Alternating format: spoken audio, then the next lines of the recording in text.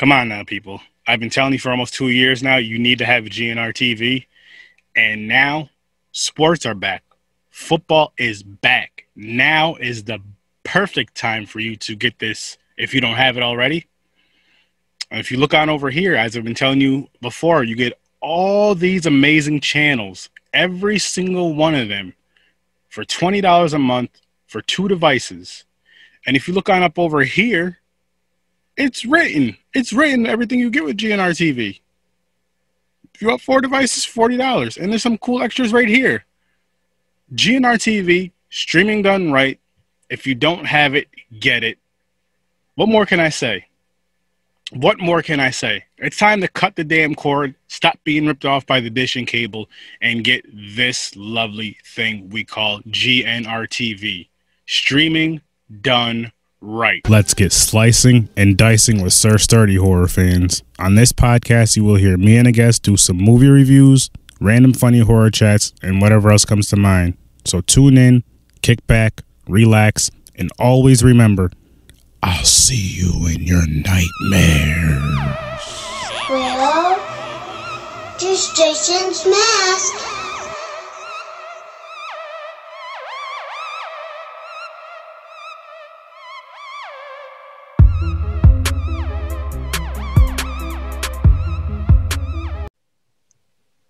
How's it going, ladies and gentlemen? I have my guest Ibrahim with me. Ibrahim, how you doing, man? Hey, I'm doing great. Thanks for having me on. Anytime, man. I know this was a little took a little bit for us to actually finally connect, but we're finally here. And we were supposed to be reviewing the movie The Ritual, as I was just discussing with this gentleman a few minutes ago, but I got approved for overtime at, like today, so I had to take full advantage of that, and we will be reviewing that movie at a later date. But hey, man. Yeah, you got to make that money, right? Oh hell yeah, you got to. I mean, that's how life is, right? We gotta, you gotta, yeah. you gotta, you gotta work to to eat. exactly, in pod. Until this is like my, which I'm speaking it to an existence. Yeah, this is my nine to five. I gotta, my nine to five has to come before this. But one day this will be my main thing. I have a feeling, maybe more than just potting, but it'll be like my main thing. To where I'm just like, okay, yes, I can I have to watch a movie for research for work. yeah, yeah, yeah. But, I, I feel you on that. It, it's hard, you know, like making that transition is like that's sort of something I'm trying to do too. Like I started a podcast like right, uh, like in August basically. Oh, nice. Um, and so I just I do all kinds of films. Um, so I'll do a lot of new releases. Recently, me and my main co-host, we've been doing October horror film. Okay. Um, like older stuff, not not newer stuff. So we just like last week we reviewed Bram Stoker's Dracula, and before that we talked about the film Mandy, which was like the the crazy Nicolas Cage, really fun psychedelic movie. if you um, show, I'm sure you know how I feel about Nicolas Cage, and it's not very good. yeah, he's he's interesting, right? Like there's like we were just talking about like like imagine imagine if someone like Denzel Washington did the stuff that Nicolas Cage does, like the level of films and stuff, right? I, I you know? I think Denzel Washington has way too much pride for himself. Yeah, there's he's just way too prestigious to do it. Yes, but it, it's almost on the same level because, like, you know, Nicolas Cage, he's a big actor. He's won Oscars. Like, he's he's from a really prestigious family, but He's just doing all these weird B movies. weird. Yeah, and the thing is, like, I, as far as horror goes, I love B horror movies, but I do not love Nicolas Cage at all. And real quick, I know you see this Z Network thing. I have a creators network. I created one with a friend of mine, and we have a few other podcasters on there as well. And on that network, we started another show called Popcorn and Pints, which is all non-horror show. It's pretty much how this show goes, but it's non-horror shows and movie reviews, or yeah, mm-hmm. shows reviews, movie reviews, and interviews. And the first movie reviews we're doing, fuck you for this, Chris. he chose. he was like, let's just do Nicolas Cage movies, right? He chose oh, yeah. Cage movies, so we're doing um, which I just watched one last night. I gotta watch the other two tomorrow because I didn't have time today. But we watched so well, I watched Mom and Dad last night, and then I have to watch 211 and Looking Glass tomorrow, Mm. and two eleven. He's not watching because he. uh I have a Fire Stick, people. I'm gonna be honest. I have a Fire Stick, but anyways, he doesn't have one. And two eleven, you have to pay for on Amazon. So Mhm. he's gonna watch. He's been watching Nicolas Cage movie since Sunday. Why? I don't know. He's crazy, but Hmm. but Yeah. whatever movie he's gonna review those two movies with us, and then he's gonna pick like a third random movie and just like talk about it during the episode, which will Mhm. be. I mean, it'll be fun and funny, not because it's Nicolas Cage, just because it's us. And so yeah, like that's gonna be the. It's gonna be the second episode. The first episode was a interview, but it's gonna be the first official movie review episode tomorrow, which I'm not sure when I'll have it released by, but I'm just like, oh my gosh, man, like I, I don't want to go out like this. I don't. Yeah, I, I don't even think I've heard of those films, but he's he's done so many crazy things, right? in the past, I want to say 15. I don't want to make this all about Nicolas Cage, but I believe Yeah, since 2015. I th- I could be wrong. But in the past X amount of years, it might have been since 2015. He's done like 30 something movies, yeah, 33 movies, I believe my friend said. And what he did was he wrote all the movies down on paper, ripped them up, threw it in a hat, and just picked out those three. uh, yeah.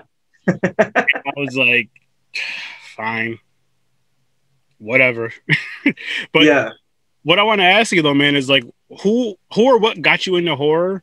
And if you do remember, what's the very first horror movie that scared you when you were a child? I would say what got me into horror was wanting to make films. Oh. Uh, I would say because horror is like such a powerful genre for filmmakers. Mhm. And it's actually one of the genres where, like, it's really about the filmmaker and not other things like the actors you get or how big your budget is. Um, if you are creative enough to, or can create even just like an atmosphere, Mhm. you can really sell your your product and then sell yourself as a filmmaker. So I'd say that really got me into it. I would say the thing that the movie that scared me, that's an interesting one. So I would say that I was pretty resistant to being afraid of things for the most part. But the one thing that really actually scared me was I was, it was probably like in the mid 90s or something, like 94, 95. And I was just like, you know, I, I had had a TV in my room for like a couple of years, maybe mm. two, three years. And like at night, I would just flip channels. And I flipped onto the History Channel and I watched this documentary about people getting abducted by aliens. and that scared the shit out of me, man. Like that really scared me. And then that sort of cascaded into other parts of my my life. And so in certain films that played into that kind of a narrative, those would scare me. Mhm. Um, so I remember like I wouldn't say the films the film itself scared me, but like there were parts of Independence Day that just scared the shit out of me.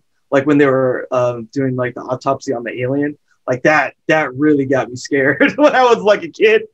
Um, but the one, so I, I think the first thing that really kind of scared me in the same kind of context was when Mars Attacks came out. Like whenever I never watched that movie because like the aliens kind of legitimately scared me when I was a kid.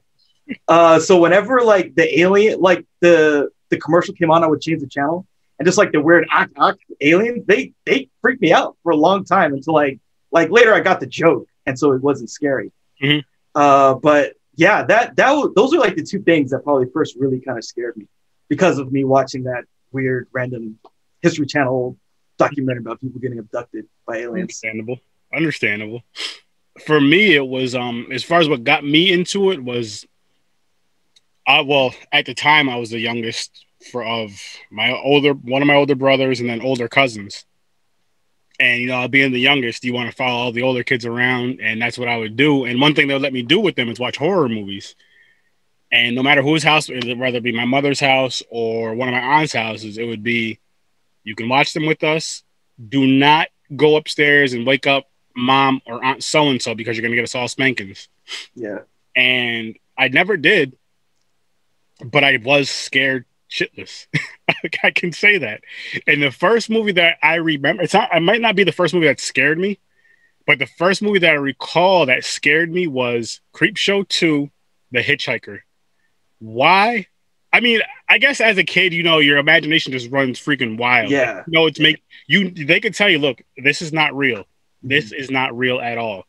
But as a kid, you know, your imagination just goes where wherever it goes. And so like I remember having used the bathroom. I don't know if it was before or after we finished watching it, or I mean during or or you know after it was over. That part was over, and I had to have one of them walk me to the bathroom, like stand outside the bathroom and wait for me Yeah. to the bathroom all that stuff, and come back out. But I would I would always come back out, and I'm sure it's happened more than once. For I just don't remember the other movies I did. That's one that really stands out, and.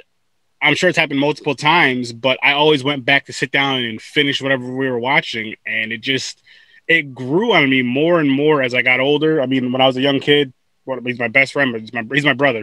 He lives out in Colorado now. But as kids, we would watch horror movies together. I remember when um I got the Friday the Thirteenth, the first box set on DVD when it first came out on DVD. And I don't remember if we took the bus or my mother brought us to the mall to pick it up or what. But um, we went and got the box set, came back home, and we were too young. I, I think I, I, we might have been. I don't know how old we were. Maybe I want to say maybe eighteen because we were old enough to buy R-rated movies if they did that ID check at the time. That part I don't remember, but too young to drink, like to buy alcohol. We might have even been younger than eighteen because we wanted like candy and chips and energy drinks. I don't mm-hmm. remember, but anyway, yeah, it, it might have been before they had the whole rating as far as like you can't buy R-rated movies and all that crap. But anyway, so we got we get the movie, we get back to my house, get all our snacks and stuff, and we just did a marathon. I believe I got it on a Friday. We did a marathon from that Friday to like that, just watching them every single day, every night. Like pretty much we'd wait till it's nighttime and watch them. During the day, we out and about doing whatever, and then at night just watching them, watching them, watching them.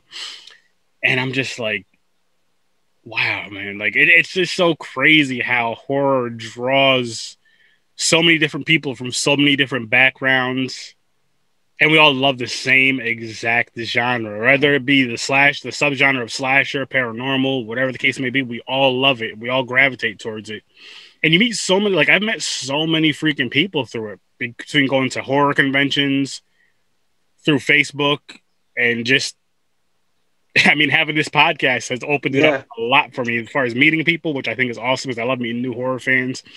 And as far as just um watching other horror movies man because there's a i'm not gonna lie like growing up i would watch for the most part the same movies because it's what i was it's what i knew it's what i was introduced to by people that were older than me and it's what they knew at the time so i just watch all those movies that you can just go to the video store and get them easily and i'll say within the past 10 years more or less maybe a little bit more I've been branching out more just because of social media, like seeing more. I'm like, oh shit, I've never heard of this. And then I'll say with definitely in the past three years, my podcast, I've been doing this podcast as far as dropping episodes three years in January. So I'll say four years because I, I had a Facebook page and all that, like group. I'll say within the past four or five years, I've been reached branching out to watching more horror movies just because again with the social media and people are recommending these movies or you see people talking about these movies i'm like i gotta check these out i gotta check these out and I'm so happy about that. Like that's one thing I love about this platform, besides meeting awesome new people, is finding new horror. Like again, you well for me personally, I know a lot of other people they were able to see a lot more than just the mainstream. I mean, I see I I seen more than the mainstream, but you know what I mean. Like I didn't see those others out there. And I do have another question for you. Halloween three. What are your thoughts? Well, I don't think I've seen that. Really? I've, I've seen I've seen Halloween. I've seen the I've seen the two um, Rob Zombie ones, okay. which were kind of forgettable for me.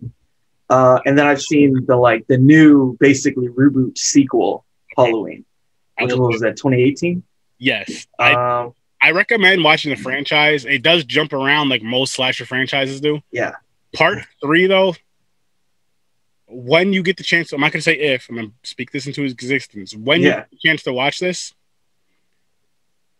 watch it as a standalone film. okay. If you do not watch it as a standalone film, and I'm not going to ruin it for you, you will be pissed off. Yeah. I watched it as a child. Do you know anything about it or no? I've I've heard so like I've heard a lot of people talk about what they do with the franchise with Michael Myers, and there's like this at some point they say, oh, he's a demon or something like that. I've heard of that kind of stuff, but I, I've I've never watched those films in depth. I basically kind of I, I don't try to be snobby, but like I I sort of if there's not a lot of strong consensus about a film being good or or at least worth watching, I kind of avoid them. Oh no, no. Um, I'll, I'll tell you why. I'll tell you why you're making that mistake because there's a lot of those, especially with the horror genre. I'll say there's a lot of those movies that you might pass up on because it might get bad reviews, say from Rotten Tomatoes. They don't know shit. That's one. yeah, And two, I'll say you'll find a lot of gems just from movies that are either not too popular or, or are overlooked or are, get bad ratings just for whatever reason. I'll say just from like the you know the Rotten Tomatoes of the world and stuff like that, or the people who just watch. Which there's nothing wrong with it. Don't get me wrong. You're still a horror fan either way. But the people that just watch, like, say, Halloween, Friday the Thirteenth, and then whatever new comes out, that's all they're watching. There's some movies that are overlooked and it's just like you have to just check these movies out. I say when you get a chance, you got to go down the Halloween franchise. My favorite franchise, if I had to choose, like my favorite slasher franchise is Night or is not Nightmare on Elm Street. I'm lying. Friday the 13th. Uh-huh. But and again, those Really? are cheesy. Okay, I'm a huge. I love Jason, and I think what it is is because back when I was a kid, USA Network Friday the 13th that would be coming on all weekend, every week, or not every weekend, but every Friday the 13th. That's what's coming on. It'll come on Friday, Saturday, Sunday, just a marathon of it. Of course, they cut out all the blood, guts, and boobs, but you still get to see. You get that little taste of it, and uh, that's probably the movie I've seen the most out of any horror movie ever, just because of those years growing up watching it and then being an adult and still watching it. But yeah, man, you you can't pass up on those. I'm telling you, those sleep yeah. I've I've heard a lot of like interesting stuff about because like yeah, the whole thing with Michael Myers is like, what is Michael Myers, right? It's so interesting to think about because he's just, and a lot of them it's just a guy who just who's unstoppable, right? Mhm. And almost like the mystery of it makes it more scary. You know, it's like, well, I don't know what he is, but he never dies, and that's kind of scary. I agree. Um, and you know, I I'm not sure. I haven't again, I haven't seen the film, but I've heard people talk about it and like, you know, them trying to explain the mythos in a way, and you know, it's just that people have strong feelings one way or the other. Oh yeah, definitely, definitely. But it's I'll tell you like this. I'll say all the 80s slasher franchises that you can get your hands on are worth at least a four time watch. I'll say at least four times. I know some people like four times these movies. No, you gotta watch because it's one of those things to where like, I mean, if you might get a different feeling from them because you haven't seen them as a kid for whatever ones you haven't seen, but at the same time, you get that '80s nostalgia, the cheesiness of it. You get this practical effects, which we all love in horror. And I will. I want to ask you another thing. Do you have um? Have you ever used Tubi? I've watched a couple films. I, me and some friends, we did like sort of for a while. We did like a, a movie night where we would stream something together. Uh, yeah, so I'm I'm a little bit familiar. I tend to, you know, use Netflix and Amazon and stuff like that. You're making Um, a mistake, man. Again, Yeah. No, I'm saying that because Tubi has a lot. There's like a lot of Yeah. horror movies. Again, I told you I haven't seen a shit ton, but there's a lot of '80s horror movies that I've never seen before. And I go in there, I'm just like, it's either oh shit, this is fucking awesome, or oh shit, this sucks. I mean, there's Yeah. in betweens, of course. Like I'll tell you one. There's one called The In- Intruder. It's called Intruder. It's on Tubi. Loved it. It's a horror slasher in like a mom and pop type of grocery store. It takes place in a grocery store, but it's really I thought it was freaking awesome. Again, it's 80s. It's the cheesiness of the 80s. It's all that stuff, and I love it. I'm an 80s baby, so I love it.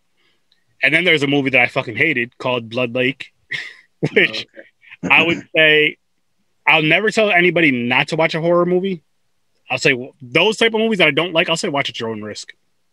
That's Yeah. that's my thing to you Yeah. because you might get a you might watch it and like I doubt it, but you might watch it and be like, oh wow, this is a fucking great movie. I highly doubt it, but you might watch it and like it. I'm sure there's a lot of movies that I've said I didn't like or hated that people do like, which I mean that's with everything. But this movie, I really don't see how people can like it, even the people that made it. But that's just me. yeah, that happens. I mean, that again, that's the other thing with the genre. You get like such large swings and you know, the I guess the the production value, right? like some are like pretty strong, and then others are just like really cheesy. It looks like they made it in like a weekend, and the acting's bad, but you know, or there's crappy jump jump scares. Yeah, Um, but you know, there's again, there's some people like they love that stuff. Like, what was one Troll Two? It's like a terrible movie, but people love it because it's so bad it's good. You know. That's and I feel like horror is the only genre that can get away with something like that. Like, this movie is so bad, it's freaking good. Like I freaking love it. It's so cheesy, it's so bad, it's so corny, it's good. Another recommendation. I don't know if you've seen it or not. I love this movie. It's my favorite horror comedy. Why? I have no clue at all. ThanksKilling. Love that movie. That's also on Tubi. I. It's about a killer turkey. That's Okay. so you know what you're gonna get from that. Like yeah. Those type of movies where you know what you're gonna get, like a ThanksKilling or um any it other. reminds me of like Jack Frost or something like that. Yeah, it's like that, but better, in my opinion. I mean, and Jack Frost was a fun. Okay. Those, those are one of those fun films you just kind of throw on. You know what I mean? Throw on. If you have a drink, if you drink or smoke, you throw. You do that. If you I- watch it. Yeah. I feel like I every time I walked like back in the day when I walked in the blockbuster, I saw that every single time I was there. Jack Frost. like those are like the one like the leprechaun and that kind of stuff. Like you're like you always walk past that and it's like, hmm, should I watch this? I don't know. but see, and I'm the type of person I'm like, oh shit, Leopard. I gotta at least watch it once.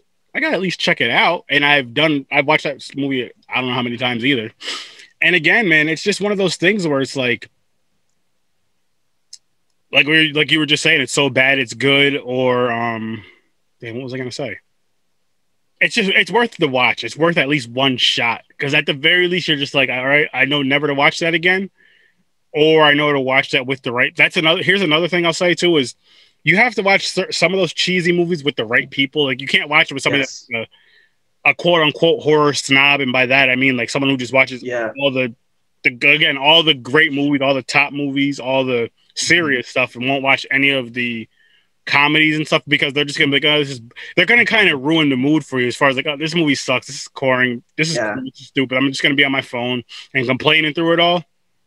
Versus you got some friends that are just gonna they might not like it, but they'll have fun with it. They'll crack jokes on it. They'll laugh with it, and that is a great freaking for those type of movies. That's the time where you don't mind if people are talking, as long as they're discussing like the movie, you don't mind. Versus mm-hmm. like I'll say, The Shining or something, or what I can't think of a movie, but The Shining or The Thing, you'll be pissed off. if People are talking to the whole movie. But if it's something like that, you just be like, oh yeah, yeah, that's true. Haha, that's funny. Yeah, for sure. Like watch Jack Frost with your friends, get drunk, make fun of the movie, do the whole MST3K thing, and just have fun, right? Like that's the whole point of those kind of movies. Exactly. It's not to like intellectualize them and analyze them because there's nothing there. It's just No. a thing, you know. But if it's a thing and it's this communal thing and we're all enjoying it because we're like making fun of it or we're having, we're just living the experience of it. Yeah, that has a lot of value, right? It does. It's it's those type of movies where you can just kind of turn your brain off. You don't really have to pay too much attention to. Like if you leave the room to go grab a bag of chips, you're not gonna be like, yo, pause it. Unless, unless two things: titties and a good kill. Other than that, you don't need to pause it. You can rewind it for those too. Actually, Yeah. Other than that, you really don't even. It's like eh, I'm, good, man. I, I don't need to see the guy walking down the street. I'm good. yeah, yeah. Now, what's what's your show called? Your podcast? Yeah, my podcast is called Deep Focus Cinema. So if you looked up like Deep Focus Cinema podcast, you'd find like all of where my podcast is. Same thing on YouTube.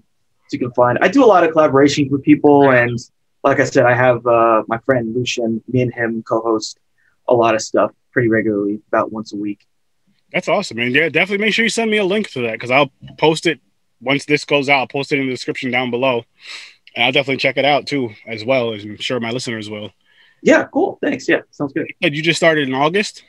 Yeah, I started in August. Um, I've been into film for a long time. Um, I felt like I couldn't. I've I've always sort of tried to do stuff related to film to try and talk about film, but uh, I think I needed to find people to like talk about it with. I'm not good at just like monologuing by myself. I'm just not that type of person. Uh, and so yeah, at some point, like I I talked to my friend. I was like, hey, let's do a podcast. He was like, sure, let's do it. And from there, I've just kind of been gotten the ball rolling. Uh, I I also do um, a sci-fi related show about once a week as well with uh, this person Pharaoh Hazard. So me and her, we talk about different sci-fi films. Um, yeah, we uh, actually talked about a couple interesting horror films in there too. We did. We've done a bunch of David Cronenberg films Mhm. actually. So we talked about Scanners. We talked about um, ooh, what was the other one? Oh, what's the one with the the television that's like a person?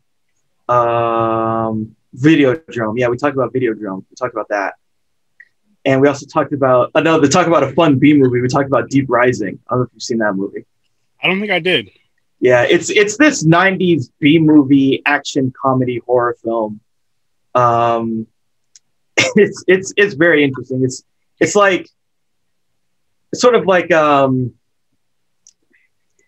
it, it, would be, it would be like if they took like the mummy. So it's the, it's the guy who made the mummy, right? So imagine like the mummy, but like a like a, a sci-fi horror film instead of like uh instead of like you know the I don't know the action adventure fantasy horror film. Um, it's about this like giant sea monster that attacks this uh this this attacks this like uh it's like a ship or something, and then it just starts eating people. And these mercenaries have to like they're they're they're supposed to go on a different job, but then the the the sea monster attacked the the ship, and then they end up having to fight the the sea monster. Um, and it, it you know it's just it's basically like the Suicide Squad, uh, except like from the '90s. It's got a great cast too. Um, so yeah, um, Famke Janssen is in it. Um, the guy who plays Benny in The Mummy's in it. Uh, who else is in it? Uh, Cliff Curtis is in it. Um, Wes Studi is in it. It's a really good film. I would definitely anyone who's like into like the fun kind of horror movies that are like very B movie, very cheesy, lots of one liners, lots of like goofiness. I would say that's a good movie. So yeah, we, we reviewed that and yeah, we um, so yeah, that's kind of how I got into all this. And so me and all my collaborators talk about different different films, review films. That's awesome, though, man. You should de- definitely send me both of those links. Like I said, I'll make sure that they're down below in the thing. And yeah, that's awesome though. And it, it's podcasting is so relaxing and so fun at the same like it's fun and relaxing as you're recording. I won't even say the part sucks, the editing part, because I don't mind that. It's just that it's time consuming as far as like what I for me, I don't really cut out anything in my for my shows, I don't cut out anything for the mm-hmm. most part. Here and there I have. And I mean, I have 100 and 30 something. I think 139 out right now. My brother, I think he reviewed, or not, sorry, not reviewed. Sorry, he edited about 100 of those for me because it was like strictly audio at first. Now it's wow both. And like the longest, I think the longest part for me, as far as like, because I don't do anything crazy, crazy edits yet. I want to do more visual edits once I learn more.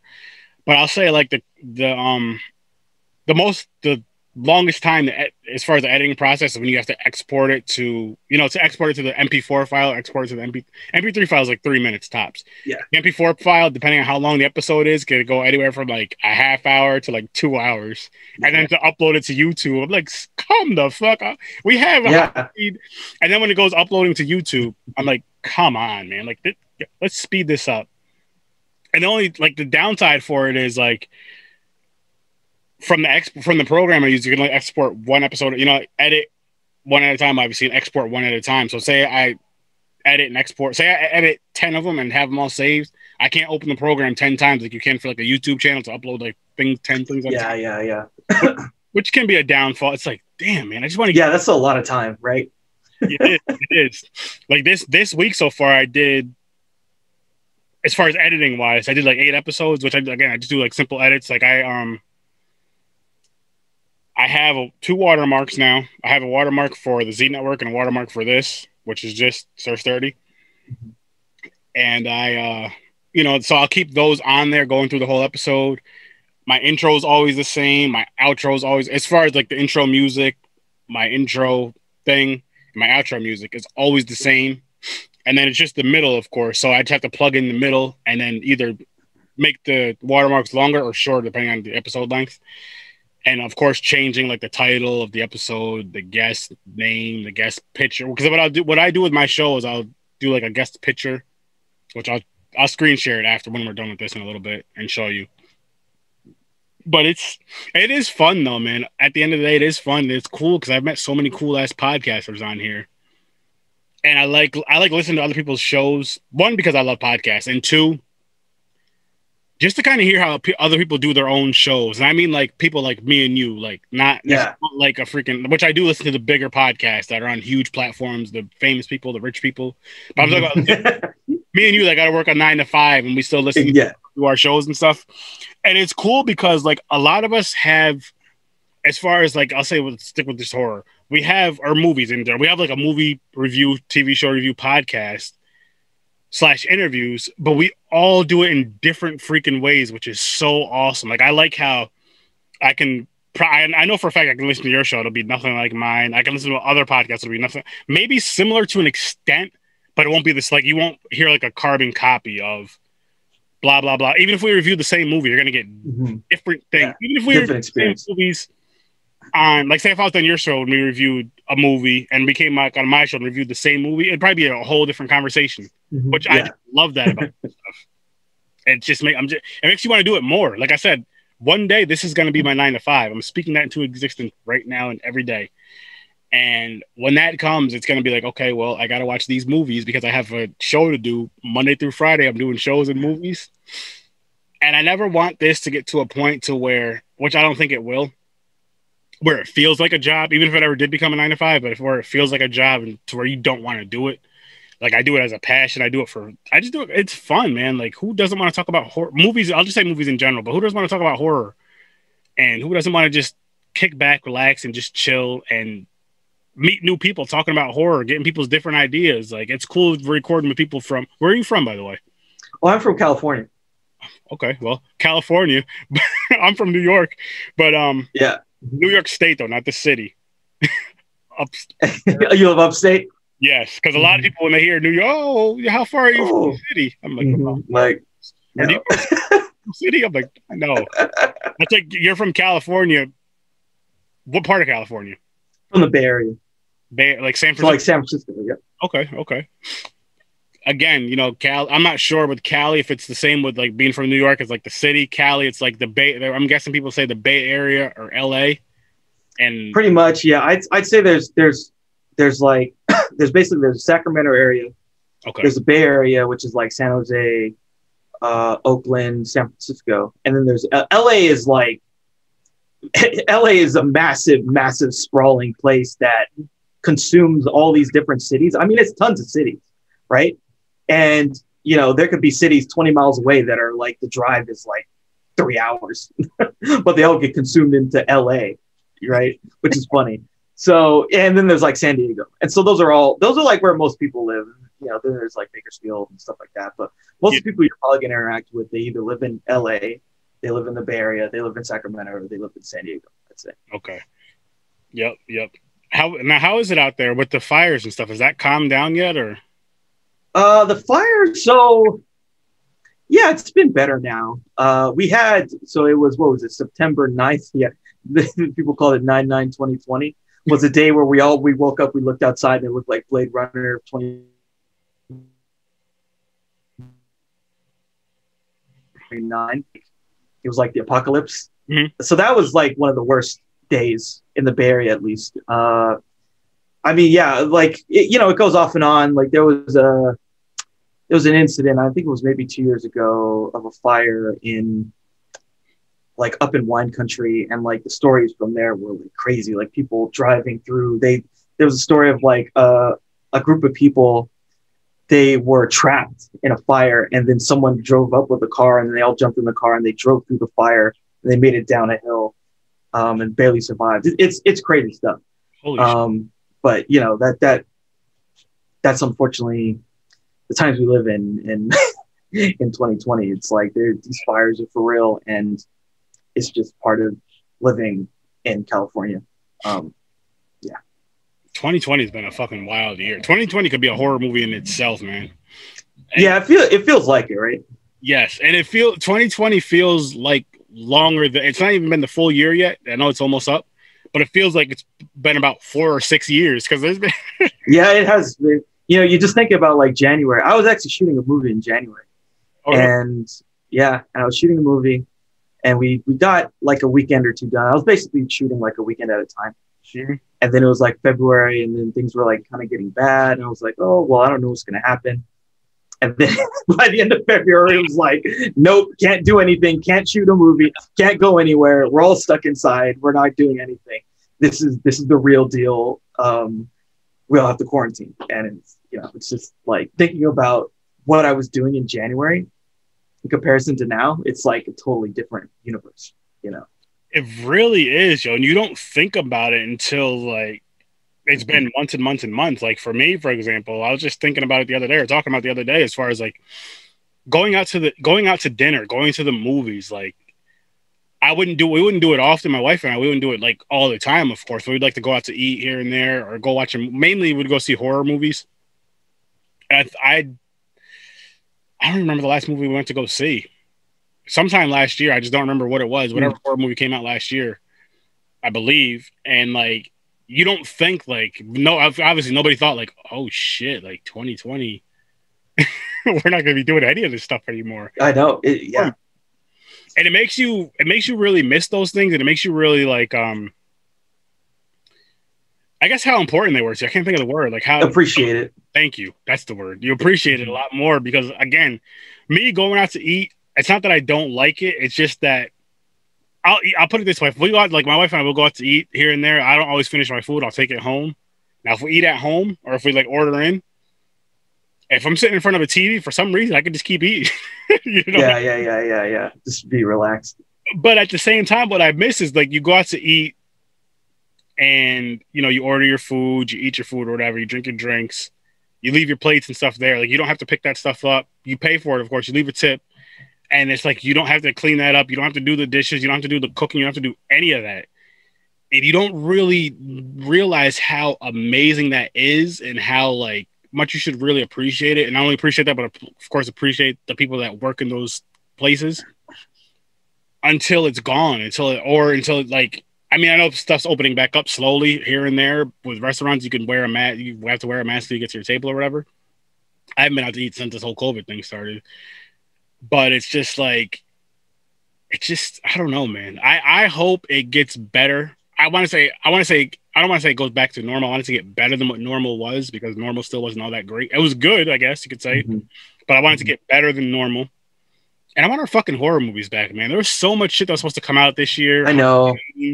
Candyman. Candyman, yeah. Um, what was there was one more? I'm thinking. I know there's more than one more, but there's one more that I have. Like it's at the tip of my tongue. The Conjuring Part Three. Yeah. I was excited for all three of those. I think I was uh more excited for The Conjuring and Candyman than Halloween.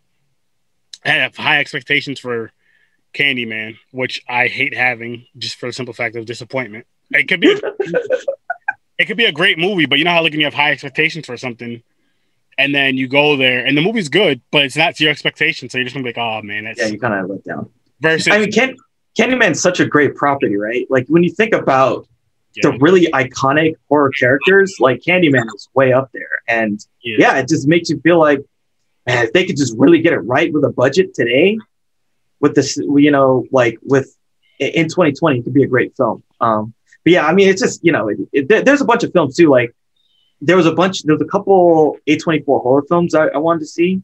Mhm. So I think one was like Saint Maud, which is played in some places, but it's not playing in America. And unfortunately, and um, there's this other one. It was like The Green Knight. Just looked really weird and interesting. I really wanted to see it. It was like this, almost like an Arthurian horror film. so, but like I, now we have no idea when they're going to come out, if they're going to come out anytime in the next year or two. And it's just like that sucks. I, I, I'm just I'm losing all the things I loved.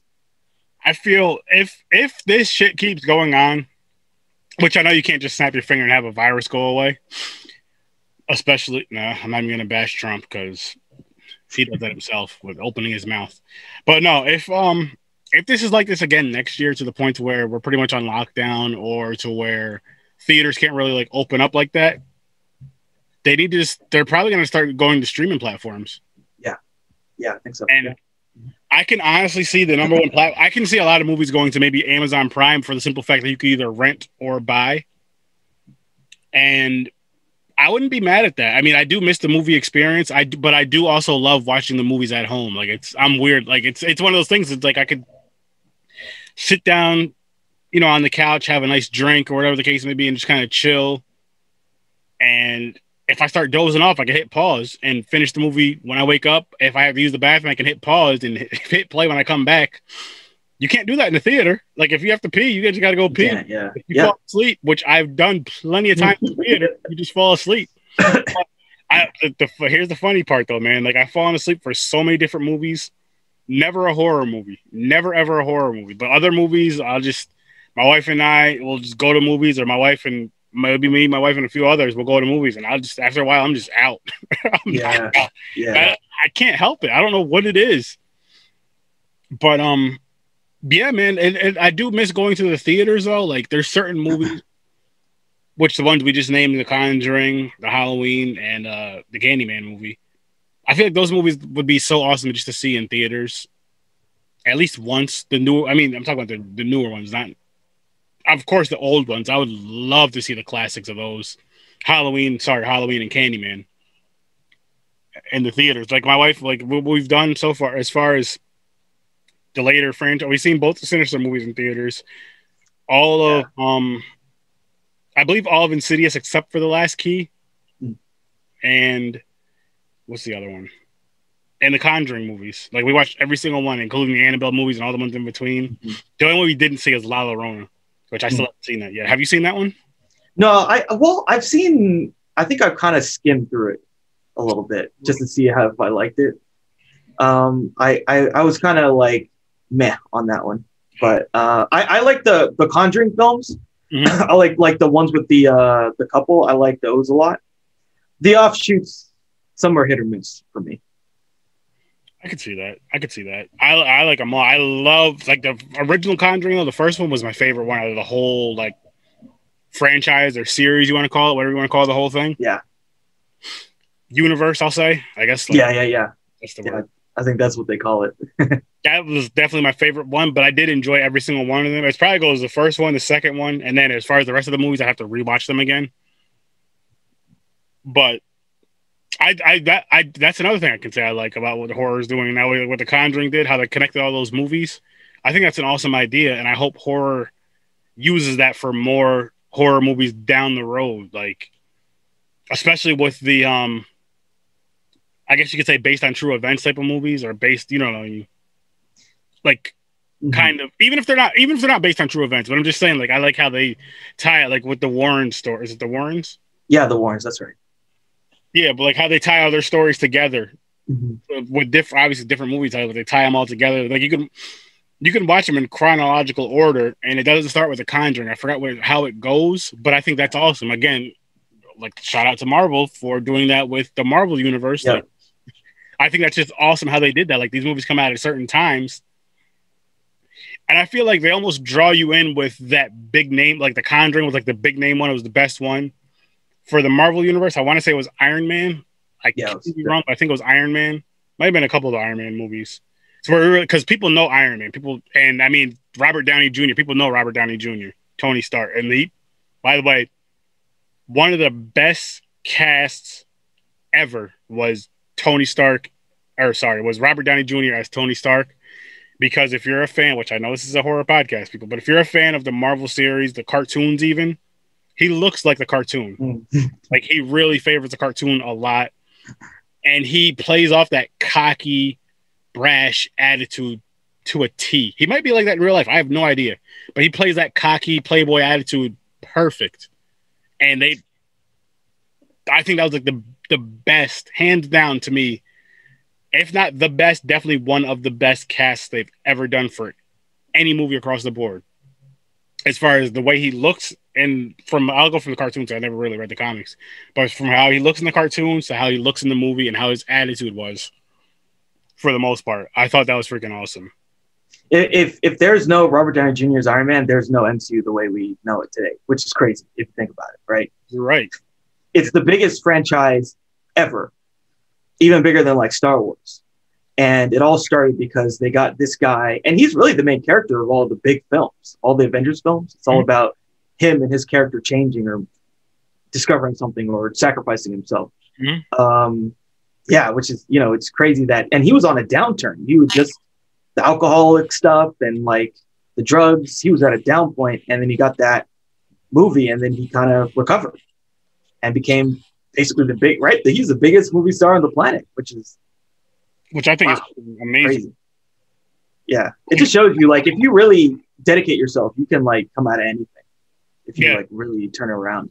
You- You're right about that, and it all starts up here, though. It really all starts up here because it's like, and I mean that could start up here, and it could be just as far as the just the thought process of I need to go get myself some help, whether that's a rehabilitation, therapy, whatever the case may be, whatever struggles people are going through. It's not always drugs and alcohol. I'm just saying whatever struggles you're going through. Like I, I need to figure out a way to help myself or help somebody come help me. So it all starts up here, and then the rest just comes. Like I understand money does help a lot. If you're like if you have a lot of money, I will say this, if you have a lot of money, it can help you in the fact of I can go get the best help in the world, but it has to start up here. It can also handicap you in this fact of drugs and alcohol. Hey, I have this money. I'm famous. I can get a lot of people will give this for free, or I can go and buy the best drugs and alcohol, which can put you in that downward spiral more. Or it can also put you in the, the cockiness of I have this money, I can do what I want type of deal. But again, it all starts like right here and then kind of goes. it just goes from that. What do you think about this movie right here? Just because I have the shirt, on. Jaws. Jaws. Is uh probably well, I'd say it's like I think it's my second favorite horror film of all time. Oh, really? Uh, my favorite, my favorite is Psycho. Psycho for me is like my favorite. Like my favorites, I'd say it'd be like uh, Psycho, Jaws, and then probably I would consider um, The Silence of the Lambs a horror film. Yeah. Um, so I would say that, and I would also say The Shining, oh, yeah. and after that, probably something like I don't know, uh, maybe The Exorcist. Okay. Okay. That, those are films I like. I yeah, we just did another review of um, Bram Stoker's Dracula. I really like that film a lot. That film probably makes my top ten. The more I watch it, um, it's just like so. Like I think his performance is so good. Gary Oldman as Dracula, I think, think he's so good, and it's so interesting. All the things that he did, all the style that Coppola put into the film, like it's very stylistic, and it gives you this kind of ethereal feeling in the film, and I just I just love it. That was probably that was probably one of the first horror films I ever saw. I was probably like eight or whatever watching that film, which is crazy. My dad would let me watch that movie. That movie is hardcore. Like there's some hardcore sex scenes. They like the freaking vampires feed on a baby. Like there's multiple scenes with babies basically being eaten by vampires. Mhm. Um, and there's some gory stuff. There's like Dracula takes a beast form, then he has sex with this woman on a balcony or something. It's just the movie's absolutely wild, and I'm like eight years old watching this thing, like, oh my god, what? What is this? But I think that's why, like, I there- like the traditional horror film, I wasn't really scared by Mhm. because you know I've been inundated to that stuff, and it doesn't totally affect me. Uh, but I definitely like enjoy the like. I, I would say another film that really scared me was Signs, the Shyamalan movie. Mhm. That film like legitimately scared the shit out of me, and like like um because it's again that's another thing like my fear was like aliens and alien invasions or alien abductions and that's a movie basically about this really super scary alien So what about, what about the movie Alien? That bother you too much, or? Actually didn't. Um I, I i saw that a little bit later and so my defenses were a little bit stronger. I didn't see that like when i was really really young. But i like the xenomorph is a thing that is so big in pop culture that i was familiar with the xenomorph Mhm. before ever like seeing th- those movies. But yeah when i saw it i was i was definitely like kind of you know had my defenses up to not scare myself yeah, um because yeah that could have like it could have if i watched as a kid uh, yeah that probably would have really really messed me up. Um i think i saw alien 3 when i was pretty young and that one that one's okay but um it didn't really scare me a lot. I think the thing for me is like if the alien is really humanoid Mhm. like really humanoid that kind of scares me more. I don't know why. Um just something about like like some a thing that is very similar to us that's intelligent that communicates like us that for whatever reason wants to like hunt and kill humans Mhm. that's the thing that kind of gets to me i don't know like that's specifically my my what my fear is basically makes sense. I mean, I get it. It makes sense because it's like, again, you're saying it's like a humanoid form. It's humanized, and it kind of way more intelligent, way more dangerous. And I'm just like, oh fuck, what can I do? Nothing. yeah, I mean, any anything that could come to Earth is so far advanced than us that you know we don't stand a chance. Mhm. And yeah, especially like in signs where it's like there's all these creepy sounds and like they communicate through sounds and like they can camouflage themselves, all that stuff. Like that's scary shit because I'm like, okay, so they could be anywhere and they're just like waiting to like just jump me and kill me and eat me or something. And I'm like, okay, I'm, I'm not going to sleep tonight, you know? Leave the lights on again. yeah. yeah, I like I, I saw that with my friends. Uh, and I legitimately didn't sleep for two days after that movie, after I saw it when we saw it in theaters. Yeah. Two days straight, just like Now, I'm not sure how old you are, but for me, do you have you ever, and if you have, do you remember back in the day where it'd be like you and your group of friends, your mother would drop you off at the mall to go watch a movie. She thinks you're going. I'm just throwing this movie out here because I can't think of a kids movie that came out around this time, but she thinks you're going to see like Bambi. You go buy the tickets for Bambi, but then you go sneak into like Child's Play. yeah. oh man, I miss those days so much, man. Like I remember. Yeah. My uh, my brother and I were just talking about this the other day. I don't remember what movie we were supposed to go see originally, but we went to go see The Bride of Chucky, I believe. Okay. Sneaking snuck in there, yeah, because it was so because you just pay for your back in the day. You get your ticket, you get your popcorn, you get your candy, your snacks, whatever. You go through, you, you know, you hand them your ticket, you go through the little thing, and you go down the hall. And there wasn't cameras like there is now. There wasn't people walking up and down the hall. You know, it wasn't how it is now. So you go sit in the movie for two minutes, get up, figure out where the other movie is. You go in the other movie. Sometimes you go one at a time. You usually go both though. You go sit in the other movie. You find a seat and you just watch the movie and you shut the fuck up. So you don't you don't want to cause a scene where somebody comes in there and get you get mm-hmm. yourself kicked out because you're being stupid. And those were the days we did that. And then I remember going to like the drive-ins with it'd be older like older cousins, family members, of course, and a bunch of us go to the drive-in to be in like an SUV or a car right up the street from the drive-ins, right up the street. Everybody get out, except for two people. Pop in the trunk or hop in the, you know, the back of the SUV. Cover up, be still, shut the fuck up.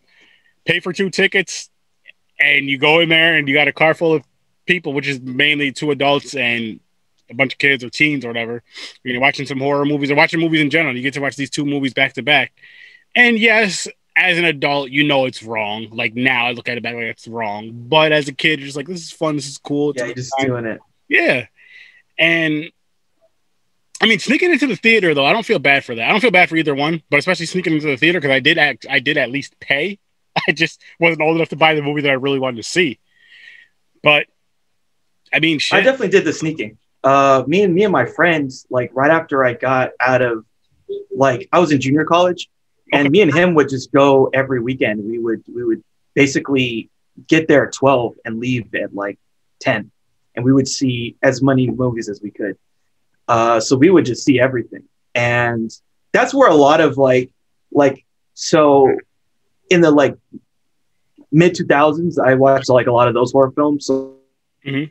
but like that again, it wasn't great stuff, but they were kind of fun. It was well, at that point it was a lot of remakes and a lot of like the what is the Michael Bay company? Uh, it's like Platinum Dunes. They're making all these. Yeah, they're making a lot of these like horror remakes. It was like uh, they remade Texas Chainsaw Massacre, and there was also a remake of like The Hills Have Eyes.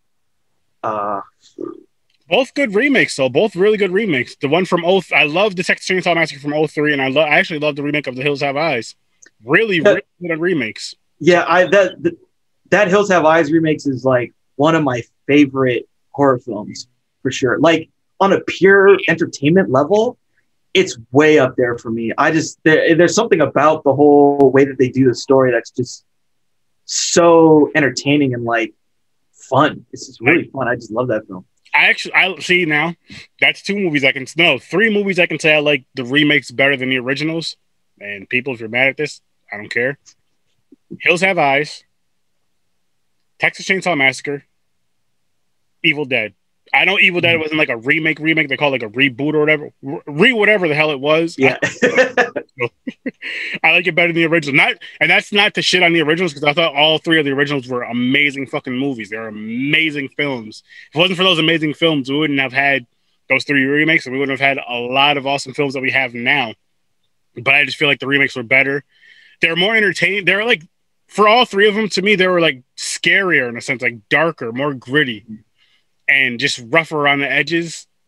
And it, I just had a better time with them. I'm, I had a great time with the originals. Don't get me wrong, but I just had a better time. I just realized this with the Texas Chainsaw Massacre one because I did a podcast on that a couple weeks ago with my friend slash co-host, and we did the original. And I was like, I'm thinking and thinking, and I kept thinking about the remake. I was like, I like the remake better than this one. Like I really do. Yeah. It's not like a landslide though. It's it's like by this much for each of them. But yeah, still, all those all those movies have a very sort of grindhousey aesthetic quality to them. The originals, like they all, you can tell they're all made very shoestring, very kind of like like they like oh we're borrowing someone's house and here's a couple of random actors. Uh, especially like the Evil Dead. I love the Evil Dead one. I really really like that movie, but you can tell that it was just a couple of guys in the middle of nowhere in a cabin and he just knew a couple actors and they were just doing crazy stuff with the camera uh, and it just worked I was gonna say, it, not only did it work and it worked well, but to where people will use those ideas even to this day, with the way they do something with the cameras, the stories, all that. I mean, of course, like I said, they, we've said they made remakes of them, so they did something right with that. I I do really really feel like they did something right with those movies. They did an amazing job, and they're just fun to watch. Fun, they're funny, in their own Yeah. ways.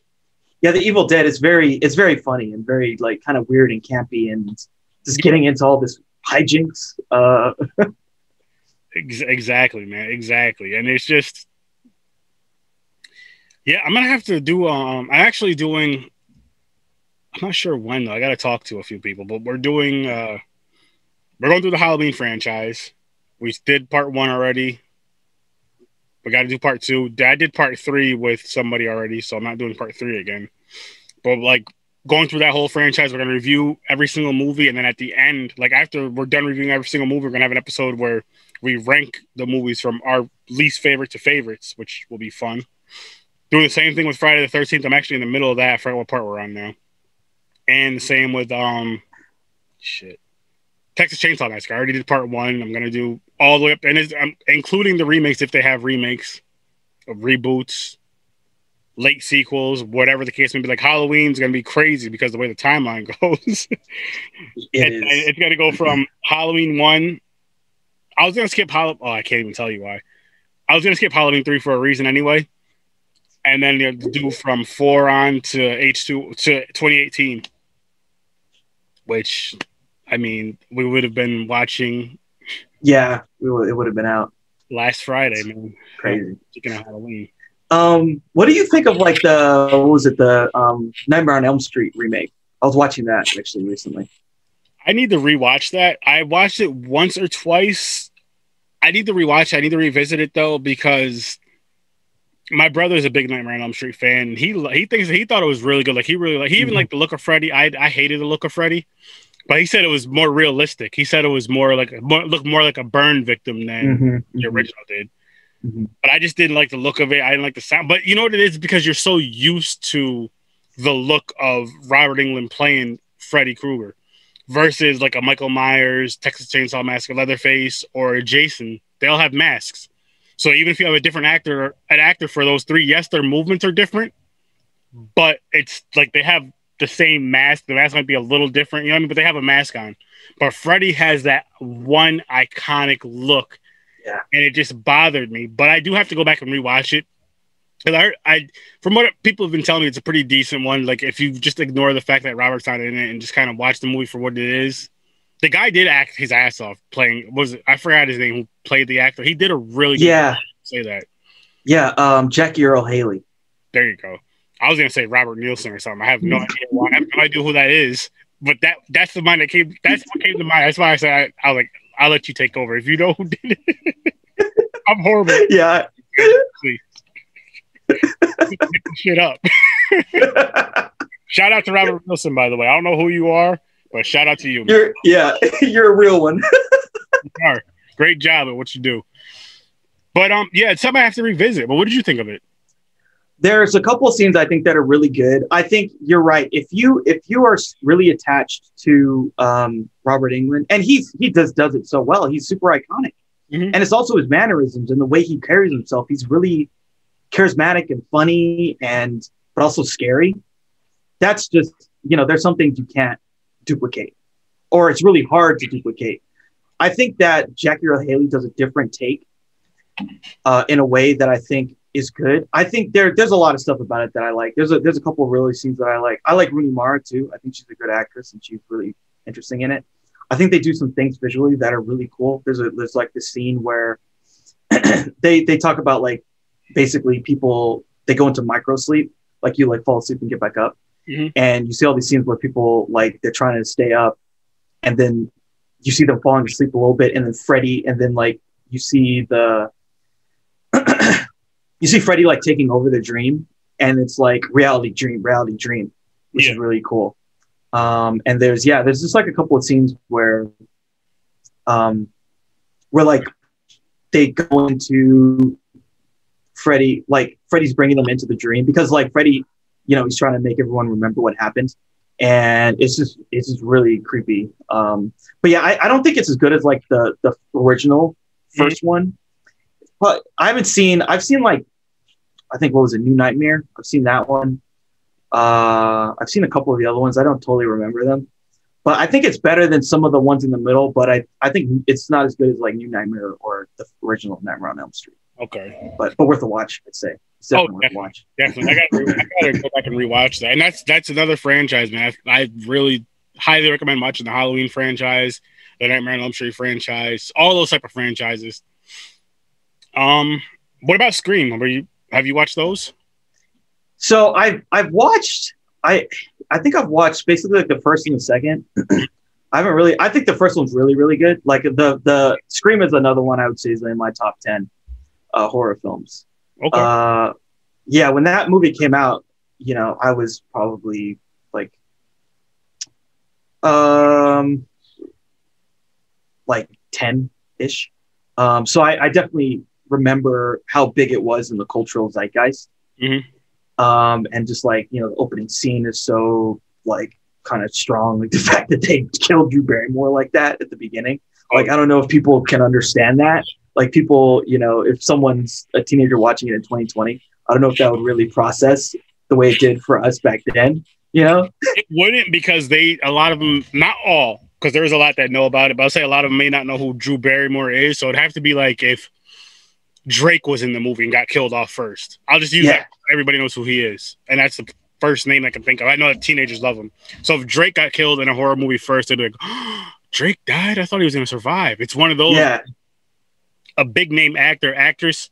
Nine times out of ten in the movies, they're surviving. They're surviving. Yeah. I mean, especially like how brutal it was, yeah, how kind of shocking it was, how unexpected it was. It's just such a great, and it just set this the whole scene. And, and you know, it's again, it's like another one of those kind of meta horror films, Mhm. right? Where it's like they're all aware of the tropes in the film, and it's sort of making fun of itself, but also kind of being self-referential.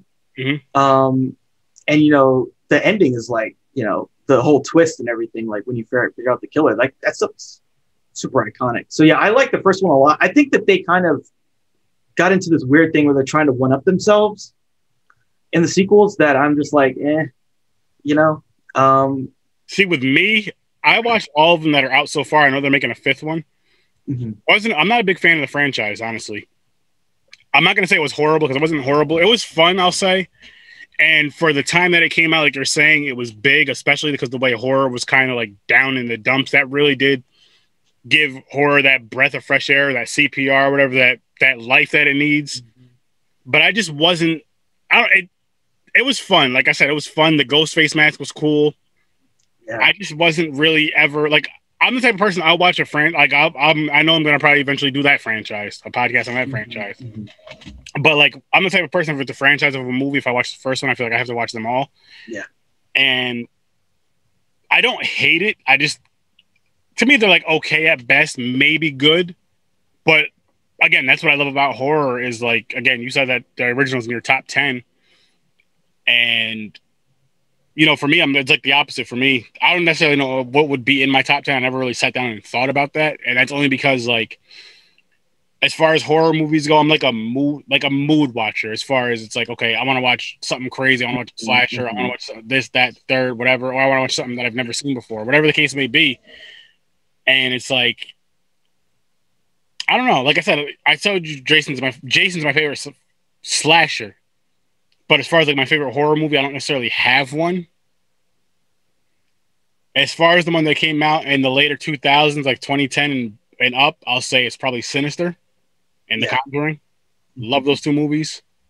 But like overall, I, I couldn't, I really couldn't tell you because again, I there's times I just want to watch.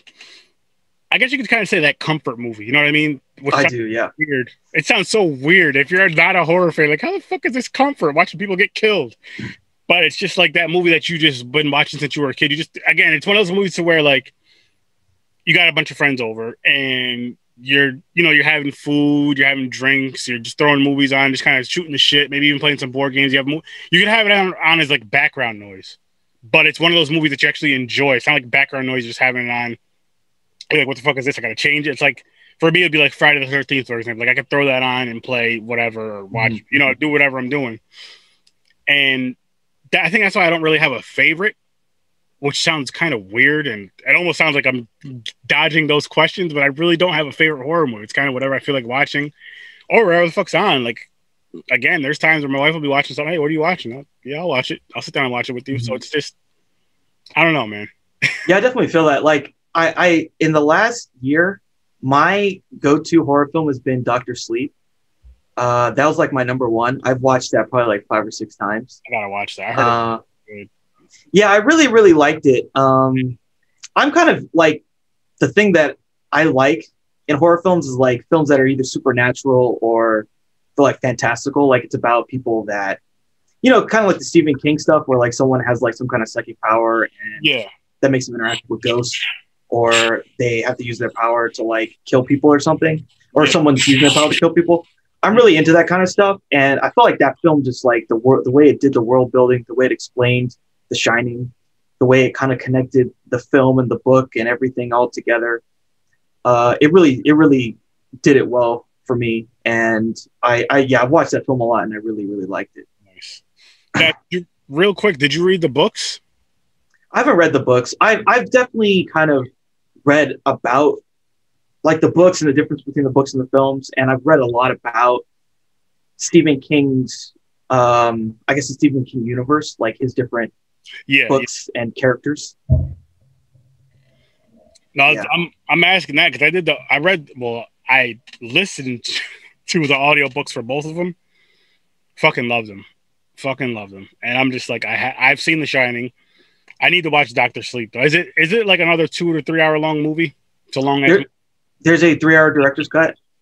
There is a two hour and maybe 40 minute, maybe something two I think it's two and a half hour theatrical cut. Um yeah, I, I would say if you wanna I think that I think the theatrical cut is fine. Um, if you want to watch a shorter version. The only things that are different is there's there's more character development and some interesting scenes that are cut out um, See, I, the director's cut. Just for you telling me that, I'd have to watch the director's cut. Yeah. like just for that extra stuff. And there there is certain movies I can sit down and watch that are you know hour and a half, two hour. Well, the hour and a half is like the norm. So I'll Yeah. say like two plus hours. There's a certain type of movie I can sit down and watch it. I mean, sometimes you have to pause it in between because I might just fall asleep. But yeah. I could just sit there and be glued to it. Like I said, the Marvel movies are long as shit. They seem long as shit. At least, like I'll the, I'll give you a great example. Like um, the last Marvel movie I remember watching that I went to go see in theater. Well, yeah, we went to go see it in theaters was uh Black Panther, and that movie I watched it the whole fucking movie. I was just like, this is so awesome. And the you know what's crazy is my father went one of his, him and one of his friends went out and watched that movie, and he hasn't been to the movie theater in since I was a kid, probably for years. And he used to always fall asleep in the theater when the couple times he did bring us. Yeah. And he watched that. He told me he said he watched that whole movie. He really enjoyed that movie. Like he didn't fall asleep at all. He watched the whole. I I go to my dad's house all the time, and I'll be watching TV with him. He'll just be dozing off on the couch. so for him to watch that, I'm just like, oh wow, yeah, that's. I was like, I gotta go see that. But yeah, like those movies that are. It's it's one of those things where. It's like. It's another. It's another movie. It's about what almost two hours long or two and a half hours or something, right? I forgot. It's probably it's probably over two hours for sure. Man, okay, so for those two I've seen, not back to back, but I've seen those and yeah, like those I enjoyed. and it's one of those it's those type of movies that you're sitting there for two plus hours and you're just like, it's over already? Fuck. I hmm, want a little yeah. bit more. So I'm I'm hoping that's what I get from Doctor Sleep to where when I do watch it, I'm like, okay, it's been three hours. Holy shit, it's it's over. I want more. I want more. Yeah, it's, it's a good film. Are you familiar with Mike Flanagan's work, like some of the other shows and films he's made? Honestly, I'm not, and I'm horrible with names. But oh, okay, yeah. Email me anything about that, man. That's one thing I will say. And I'm about to wrap up. I do want to thank you for coming on. I had an awesome time. We definitely got to do this again. Yeah, for sure. And again, if you have any, if you have anything you want to plug, like your two YouTube, your two um podcasts, feel free to plug them right now. And then whenever you get a chance to shoot me an email with both the links. And as soon as this episode drops, I will have the links in there and I'll send it to you. yeah, yeah. So so um yeah, again my my YouTube channel and podcast is the same name. So just look up Deep Focus Cinema. And if you just Google Deep Focus Cinema podcast, you'll find my podcast. Um so yeah, coming up horror wise, I'm gonna be doing a review with my friend Lucian of Possessor Uncut. So we'll be doing that probably coming out this weekend. Nice. And then uh, next week we're probably gonna talk about. I think actually it'll be like we're gonna do one this weekend, and then we'll do like another one on like uh, we're gonna do like three more horror films, and so then the next one after that is going to be um, Pan's Labyrinth. So yeah, that's some stuff to look forward to um, for me. So yeah, and again, thank you so much for having me on. I really appreciate it. It was a great conversation. Oh, of course, man. Anytime. I promise you next time. Well, I won't promise, but we will review the ritual and probably yeah. down the road. But what's your what's your other show that you were connected with called as well? Shout that one out again, man. Yeah, well, it's all on the same network, I guess you could call it. So if you look on uh, Deep Focus Cinema, you can find the stuff that I do, the sci-fi stuff that I do with Pharaoh Hazard. Um, I've done some other just random stuff there. So if you're into horror, if you're into sci-fi, if you just want to see people talk about the I've even reviewed films that played at festivals. I recently reviewed this film Wolf Walkers, which is like a really big animated film that's going to come out later on on uh, Apple TV. A lot of people have been listening to that. Um, I've reviewed a lot of the big Netflix releases. So like um, we talked, me and Lucian talked about our theories about I'm I'm thinking of ending things. Mm. So if you're into that kind of stuff, we talk about those things too. So anything film related, we tend to to have big in-depth discussions about it. Awesome, awesome. People, you heard it. Go check him out. His stuff sounds fucking dope. You heard the conversation we had. Awesome guest, awesome time. We are going to review the ritual as well as other movies later on down the road. So he will be a recurring guest. And again, man, just send me that stuff when you get a chance to. So go check him out. Go check out all of his stuff. Click the links below. Check out the Z Network. Check out Horror Sir Sturdy. And thank you all for watching. Thank you all for listening. And as always, I'll see you in your nightmare.